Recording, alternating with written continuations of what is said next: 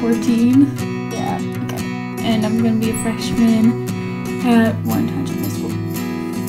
So, kind of being like perspective on eighth grade, going to freshman.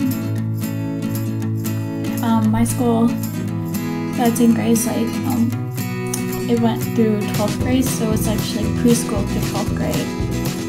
But I decided, and my parents too, decided to go to Warren for me because my school is a Christian school and it's a lot smaller, and their perspective and real like perspective on life is totally different from the real world, and um, it's kind of Warren's huge compared to mine. There was only a graduating class of 12 people compared to Warren's like 1200, so big difference. And I'm nervous actually. I'm terrified. I went already went to registration at Warren and uh, too big, and I'm gonna go there again because my locker got stuck. So. um, I for like people who already been a freshman high school and are like maybe like sophomore, junior, senior, already in college, already know what it's like, what they had their first time in high school. Mine will be soon. Today is the sixth, I think, seventh.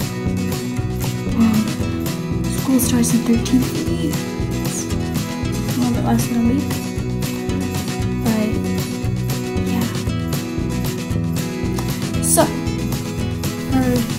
Are gonna be in eighth grade this year. Just saying